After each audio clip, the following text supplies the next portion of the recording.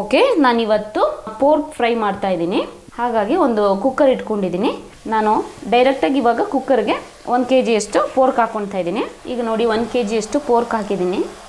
ಇವ, ಪೋರ್ಕು ಸ್ವಲ್ಪ ಫ್ಯಾಟ್ ಇರಬೇಕು ಪೋರ್ಕಲ್ಲಿ. ಆವಾಗಲೇ ಸ್ವಲ್ಪ ಟೇಸ್ಟ್ ಇರುತ್ತೆ ಟೇಸ್ಟ್ ಬರುತ್ತೆ.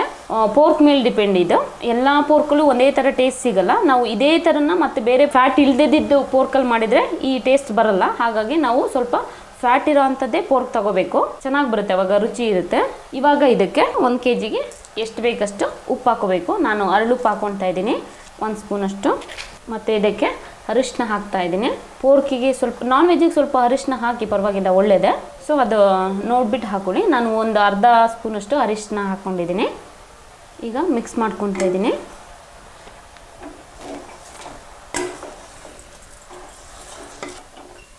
ನಾನು ಫ್ಲೇಮ್ ಜಾಸ್ತಿನೇ ಇಟ್ಕೊಂಡಿದ್ದೀನಿ. ಇವಾಗ ಇದಕ್ಕೆ ಎಲ್ಲನೂ ಒಂದೊಂದು ಹಾಕಿ ಅರಿಶಿನ ಮತ್ತು ಉಪ್ಪು ಹಾಕಿ ಒಂದು ಐದು ಹತ್ತು ನಿಮಿಷ ಬೇಯಿಸ್ಬಿಟ್ಟು ಒಂದು ನಾಲ್ಕು ಹಸಿರು ಮೆಣಸಿನ್ಕಾಯಿ ಹಾಗೆ ಹಾಕ್ತಾ ಇದ್ದೀನಿ. ಮತ್ತು ಕಟ್ ಮಾಡ್ಕೊಂಡಿರೋ ಅಂಥದ್ದು ಒಂದು ಈರುಳ್ಳಿ ಹಾಕ್ತಾ ಇದ್ದೀನಿ. ಒಂದು ಮಿಕ್ಸ್ ಮಾಡಿಕೊಡಿ. ಇವಾಗ ಇದಕ್ಕೆ ಕರ್ಬೇವಿನ ಸೊಪ್ಪು ಹಾಕ್ತಾ ಇದ್ದೀನಿ. ಮತ್ತು ಇವಾಗ ಇದಕ್ಕೆ ಒಂದು ಸ್ಪೂನಷ್ಟು ಶುಂಠಿ ಬೆಳ್ಳುಳ್ಳಿ ಪೇಸ್ಟ್ ಹಾಕ್ತಾ ಇದ್ದೀನಿ. ಮತ್ತು ಹಾಗೆಯೇ ಸುಮ್ಮನೆ ಒಂದು ಒಂದು ಮೂರು ಬೆಳ್ಳುಳ್ಳಿನ ಅರ್ಧಕ್ಕೆ ಕಟ್ ಮಾಡಿ ಹಾಕ್ತಾ ಇದ್ದೀನಿ. ದಪ್ಪ ದಪ್ಪಾಗಿ ಹಾಕಿ ಸ್ವಲ್ಪ ಒಂದು ಮಿಕ್ಸ್ ಮಾಡ್ಕೊತೀನಿ ಪೋರ್ಕ್ ಚೆನ್ನಾಗಿದ್ರೆ ಮಾತ್ರ ಪೋರ್ಕ್ ಚೆನ್ನ ಪೋರ್ಕ್ ಐಟಮ್ಸ್ ಚೆನ್ನಾಗಿ ಬರೋದು. ಪೋರ್ಕು ಸ್ವಲ್ಪ ಡ್ರೈ ಆಗಿದ್ರೆ ಅಥವಾ ಗಟ್ಟಿ ಮಾಂಸ ಆಗಿದ್ರೆ ಚೆನ್ನಾಗಿ ಬರಲ್ಲ. ಟೇಸ್ಟ್ ಇರಲ್ಲ ಅದು. ಫ್ಯಾಟ್ ಮಿಕ್ಸ್ ಆಗಿರಬೇಕು ಇದಕ್ಕೆ. ಆವಾಗಲೇ ಚೆಂದ ಇದು. ಹಾಕಿ ಎಲ್ಲ ಫ್ರೈ ಮಾಡ್ತಾಯಿದ್ದೀನಿ ಇವಾಗ ಮಸಾಲೆ ಐಟಮ್ಸ್ ಹಾಕ್ಕೊತೀನಿ ಇವಾಗ ಇದಕ್ಕೆ ಒಂದು ಕಾಲು ಸ್ಪೂನಷ್ಟು ಲವಂಗ ಪೌಡ್ರ್ ಹಾಕ್ಕೊತಾ ಇದ್ದೀನಿ. ಮತ್ತು ಒಂದು ಕಾಲು ಸ್ಪೂನಷ್ಟು ಚಕ್ಕೆ ಪೌಡರು. ಸ್ವಲ್ಪ ಸ್ವಲ್ಪ ಅಷ್ಟೇ. ಮತ್ತು ಒಂದು ಚಿಕ್ಕ ಸ್ಪೂನಲ್ಲಿ ಒಂದು ಸ್ಪೂನಷ್ಟು ಪೆಪ್ಪರ್ ಪೌಡ್ರ್ ಹಾಕ್ಕೊತಾ ಇದ್ದೀನಿ, ಕಾಳು ಮೆಣಸಿನ ಪುಡಿನ. ಮತ್ತು ಚಿಕ್ಕ ಸ್ಪೂನಲ್ಲಿ ಒಂದು ಸ್ಪೂನಷ್ಟು ಜೀರಿಗೆ ಪೌಡ್ರ್ ಹಾಕ್ಕೊತಾ ಇದ್ದೀನಿ. ಮತ್ತು ಇದಕ್ಕೆ ಒಂದು ಅರ್ಧ ಸ್ಪೂನಷ್ಟು ಗರಂ ಮಸಾಲ ಹಾಕ್ಕೊತಾ ಇದ್ದೀನಿ. ಓಕೆ, ಎಲ್ಲ ಪೌಡ್ರೆಲ್ಲ ಹಾಕ್ಕೊಂಡಾಯಿತು. ಇವಾಗ ಇದನ್ನು ಮಿಕ್ಸ್ ಮಾಡ್ಕೊತಾ ಇದ್ದೀನಿ. ನೋಡಿ ಪೋರ್ಕ್ ಅದಾಗೆ ನೀರು ಬಿಟ್ಟಿದೆ ಸ್ವಲ್ಪ. ಎಲ್ಲನೂ ಈ ಒಂದೊಂದಾಗ ಹಾಕ್ತಾ ಬಂದರೆ ಆಯಿತು. ಇದೇನು ಒತ್ತಲ್ಲ ಸುಮ್ಮನೆ ಸ್ಟವ್ ಮೇಲೆ ಇಟ್ಬಿಟ್ಟು ಮಟನ್ ಬೇಯಕ್ಕೆ ಇಟ್ಬಿಟ್ಟು ಎಲ್ಲನೂ ಒಂದು ಕಡೆಯಿಂದ ಹಾಕ್ಕೊಂಡು ಬಂದರೆ ಸಾಕು. ಎಲ್ಲ ಸ್ವಸ್ವಲ್ಪ ಹಾಕಿ ಅಷ್ಟೇ. ಒಂದು ಕೆ ಜಿಗೆ ನಾನು ಎಷ್ಟು ಬೇಕಾ ಹಾಕಿದ್ದೀನಲ್ಲ, ಅಷ್ಟಷ್ಟು ಹಾಕೋ ಬನ್ನಿ. ಉಪ್ಪು, ಖಾರ ಮಾತ್ರ ನೀವು ನೋಡಿ ಹಾಕ್ಕೊಳ್ಳಿ ಮತ್ತು ಇವಾಗ ಇದಕ್ಕೆ ಒಂದು ಸ್ಪೂನಷ್ಟು ಖಾರದ ಪುಡಿ ಹಾಕ್ತಾಯಿದ್ದೀನಿ ನೋಡಿ ಹಾಕ್ಕೊಳ್ಳಿ ಯಾಕಂದರೆ ನಾನು ಚಿಕ್ಕ ಸ್ಪೂನಲ್ಲಿ ಒಂದು ಸ್ಪೂನ್ ಇದು ದೊಡ್ಡ ಸ್ಪೂನಲ್ಲಿ ಒಂದು ಸ್ಪೂನಷ್ಟು ಖಾರದ ಪುಡಿ ಹಾಕ್ಕೊತಾ ಇದ್ದೀನಿ. ಮತ್ತು ಒಂದು ಚಿಕ್ಕ ಸ್ಪೂನಲ್ಲಿ ಕಾಳು ಮೆಣಸಿನ ಪೌಡ್ರು ಹಾಕ್ಕೊಂಡಿದ್ದೀನಿ ಮತ್ತು ನಾಲ್ಕು ಹಸಿರು ಮೆಣಸಿನ್ಕಾಯಿನೂ ಹಾಕ್ಕೊಂಡಿದ್ದೀನಿ ದೊಡ್ಡ ಸ್ಪೂನಲ್ಲಿ ಒಂದು ಅರ್ಧ ಸ್ಪೂನಷ್ಟು ಸಾಂಬಾರು ಪುಡಿ ಹಾಕ್ಕೊತಾ ಇದ್ದೀನಿ, ಒಂದು ಅರ್ಧ ಸ್ಪೂನಷ್ಟು.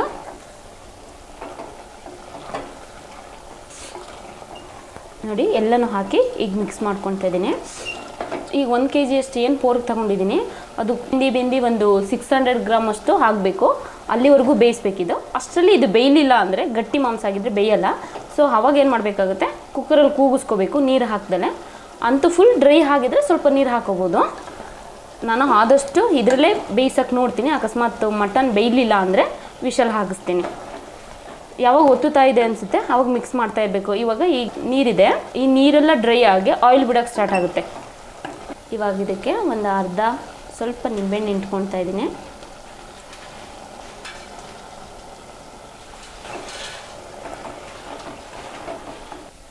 ಕರ್ಬೇವಿನ ಸೊಪ್ಪನ್ನು ಸ್ವಲ್ಪ ಜಾಸ್ತಿ ಹಾಕಿ ಪರವಾಗಿಲ್ಲ, ಚೆನ್ನಾಗಿರುತ್ತೆ ಇದು.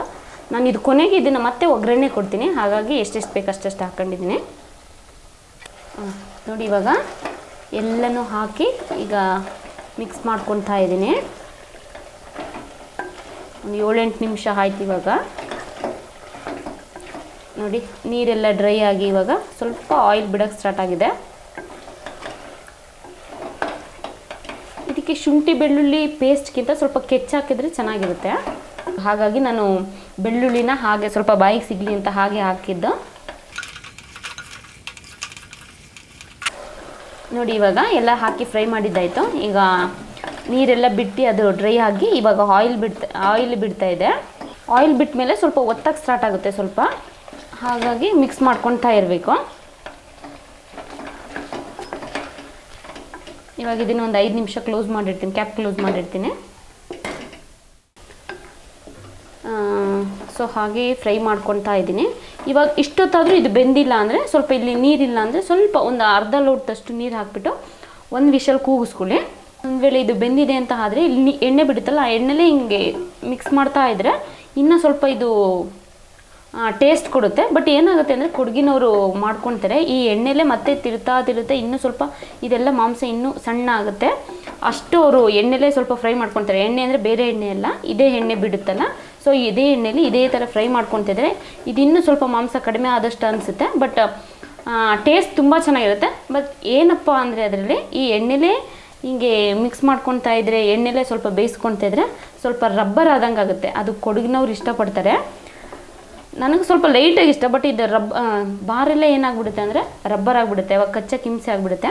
ಇದು ಬೇಗ ಬೆಂದಿದೆ ಒಂದೊಂದು ಮಟ್ ಪೋರ್ಕ್ ಬೇಯಲ್ಲ ಆವಾಗ ಸ್ವಲ್ಪ ನೀರು ಹಾಕಿ ಬೇಯಿಸ್ಕೋಬೇಕಾಗುತ್ತೆ. ಸೊ ಈಗ ಇದು ಚೆನ್ನಾಗಿ ಬೆಂದಿದೆ.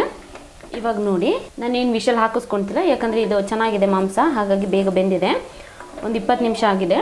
ಇವಾಗ ಇದಕ್ಕೆ ಸುಮ್ಮನೆ ಲೈಟಾಗಿ ಸ್ವಲ್ಪ ಟೇಸ್ಟಿಗೆ ಬೇರೆ ಮತ್ತಿನ್ನೊಂದು ಸ್ವಲ್ಪ ಒಗ್ಗರಣೆ ಕೊಡ್ತೀನಿ ಇವಾಗ ಇದಕ್ಕೆ. ಓಕೆ ಈಗ ತೆಗೆದಿಟ್ಕೊತಾ ಇದ್ದೀನಿ ಈಗ ಈ ಪ್ಯಾನ್ಗೆ ಒಂದು ಸ್ಪೂನಷ್ಟು ಸಾಂಬಾರು ಪುಡಿ ಹಾಕ್ಕೊತಾ ಇದ್ದೀನಿ. ಅದಕ್ಕೆ ಒಂದು ಅರ್ಧ ಸ್ಪೂನಷ್ಟು ಖಾರದ ಪುಡಿ ಹಾಕ್ತಾ ಇದ್ದೀನಿ. ಮತ್ತು ಇದಕ್ಕೆ ಸ್ವಲ್ಪ ಅರಿಶಿನ ಸ್ವಲ್ಪ ಜೀರಿಗೆ ಪೌಡ್ರ್. ನಾನು ಆವಾಗ ಪೋರ್ಕಿಗೆ ಏನೇನು ಹಾಕ್ಕೊಂಡೆ ಮಸಾಲಗಳನ್ನ ಅದೇ ಮಸಾಲಗಳನ್ನ ಈಗ ಅದಕ್ಕಿಂತ ಸ್ವಲ್ಪ ಕಡಿಮೆಯಾಗಿ ಹಾಕ್ಕೊಂಡು ಫ್ರೈ ಮಾಡ್ಕೊತಾ ಇದ್ದೀನಿ.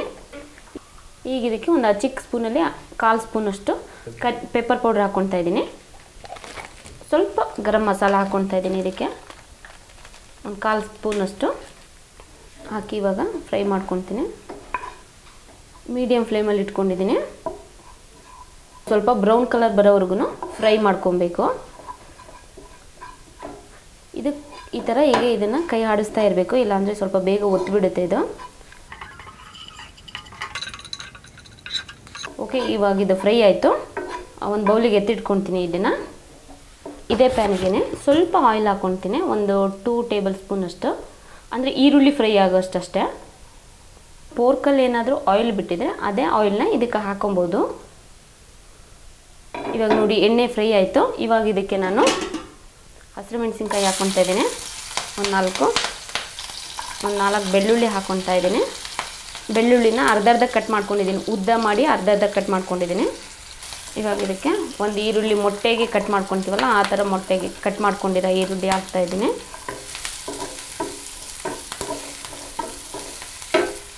ಮತ್ತು ಕರ್ಬೇವಿನ ಸೊಪ್ಪು ಹಾಕ್ತಾಯಿದ್ದೀನಿ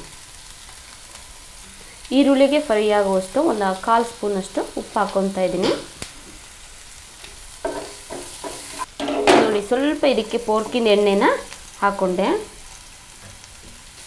ಹಾಕಿ ಸ್ವಲ್ಪ ಫ್ರೈ ಮಾಡ್ತೀನಿ ಹಾಗೆಯೇ ಇವಾಗ ಇದಕ್ಕೆ. ಇವಾಗ ಇದಕ್ಕೆ ಫ್ರೈ ಮಾಡ್ಕೊಂಡಿದ್ನಲ್ಲ, ಆ ಪೌಡ್ರ್ ಹಾಕ್ತಾಯಿದ್ದೀನಿ ಫುಲ್ ಹಾಕ್ಕೊತೀನಿ ಈಗ ಸ್ವಲ್ಪ ಈರುಳ್ಳಿ ಫ್ರೈ ಆಗೋಕ್ಕೆ, ಈರುಳ್ಳಿ ಜೊತೆ ಸೇರಲಿ ಅಂತ ಸ್ವಲ್ಪ ಹಾಕಿದೆ.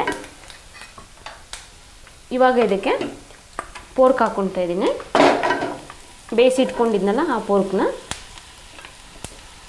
ನೋಡಿ, ನೀರಿಲ್ಲ. ಹಾಕಿ ಈಗ ಮಿಕ್ಸ್ ಮಾಡ್ಕೊತಾ ಇದ್ದೀನಿ. ಇವಾಗ ಇದಕ್ಕೆ ಫ್ರೈ ಮಾಡಿ ಇಟ್ಕೊಂಡಿದ್ನಲ್ಲ ಸಾಂಬಾರು ಪುಡಿ ಮತ್ತು ಖಾರದ ಪುಡಿ ಎಲ್ಲನೂ ಹುರಿದಿಟ್ಕೊಂಡಿದ್ನಲ್ಲ, ಅದು ಹಾಕ್ಕೊತಾ ಇದ್ದೀನಿ. ಫುಲ್ ಹಾಕ್ಕೊತೀನಿ ಆವಾಗ ಸ್ವಲ್ಪ ಹಾಕಿದ್ದೆ ಅಷ್ಟೇ ಈರುಳ್ಳಿಗೆ. ಇವಾಗ ಒಂದು ಎರಡು ಮೂರು ಸ್ಪೂನ್ ಅಷ್ಟಾಗಿದೆ ಅದು ಹಾಕ್ಕೊತಾ ಇದ್ದೀನಿ, ಒಂದು ಮೂರು ಸ್ಪೂನ್ ಅಷ್ಟು ನೋಡಿ, ಈಗ ಸ್ವಲ್ಪ ಸ್ವಲ್ಪ ಆಯಿಲ್ ಇದ್ದರೂ ಕೂಡ ಈ ಪೌಡ್ರ್ ಹಾಕಿದ ತಕ್ಷಣ ಸ್ವಲ್ಪ ಡ್ರೈ ಆಗುತ್ತೆ. ಓಕೆ ಒಂದು ಅರ್ಧ ನಿಂಬೆಹಣ್ಣು ಹಾಕ್ತೀನಿ. ಅವಾಗ ಅರ್ಧ ಹಾಕ್ಕೊಂಡಿದ್ದೆ ಇವಾಗ ಅರ್ಧ ಹಾಕ್ತಾಯಿದ್ದೀನಿ ಅಲ್ಲಿಗೆ ಒಂದು ನಿಂಬೆಹಣ್ಣು ಹಾಕ್ಕೊಂಡಂಗಾಯಿತು ಒಂದು ಕೆ ಜಿಗೆ ಕಡಿಮೆ ಫ್ಲೇಮ್ ಇಟ್ಕೊಂಡಿದ್ದೀನಿ. ಇವಾಗ ಇದಕ್ಕೆ ಕೊನೆಯಲ್ಲಿ ಸಾಂಬಾರು ಸೊಪ್ಪು ಹಾಕ್ತಾಯಿದ್ದೀನಿ ಸ್ವಲ್ಪ ಹಾಗೆ ಒಂದೇ ಒಂದು ಸಾರಿ ಮಿಕ್ಸ್ ಮಾಡಿಬಿಟ್ಟು ಒಂದು ತರ್ಟಿ ಸೆಕೆಂಡ್ಸ್ ಅಷ್ಟೇ ಕ್ಲೋಸ್ ಮಾಡಿಡ್ತಾ ಇದ್ದೀನಿ.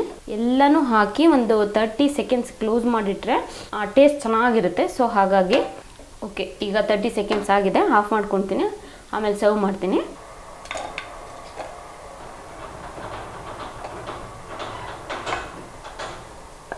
ಸಕ್ಕತ್ತಾಗಿ ಬಂದಿದೆ ಮಾತ್ರ. ಸ್ವಲ್ಪ ಹಾಗೆ ಸಾಂಬಾರು ಸೊಪ್ಪಲ್ಲಿ ಉದುರಿಸ್ತಾ ಇದ್ದೀನಿ. ಓಕೆ ನೋಡಿ, ಪೋರ್ಕ್ ಫ್ರೈ ರೆಡಿ ಆಗಿದೆ. ಎಷ್ಟು ಸಿಂಪಲ್ ಅಲ್ವಾ ಇದು ಮಾಡೋವಂಥದ್ದು. ಕುಕ್ಕರಿಗೆ ಡೈರೆಕ್ಟಾಗಿ ಇಟ್ಬಿಟ್ಟು ಒಂದೊಂದಾಗಿ ಎಲ್ಲನೂ ಹಾಕ್ತಾ ಬಂದು ಮಿಕ್ಸ್ ಮಾಡಿಕೊಂಡು ಹಾಕ್ತಾ ಬಂದರೆ ಮುಗ್ದೇ ಹೋಗುತ್ತೆ.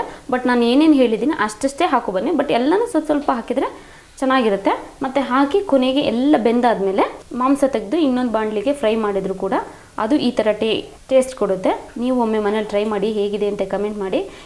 ಇಲ್ಲಿಗೆ ಪೋರ್ಕ್ ಫ್ರೈ ವಿಡಿಯೋ ಮುಗಿಸ್ತಾ ಇದ್ದೀನಿ. ಎಲ್ಲರಿಗೂ ಧನ್ಯವಾದಗಳು.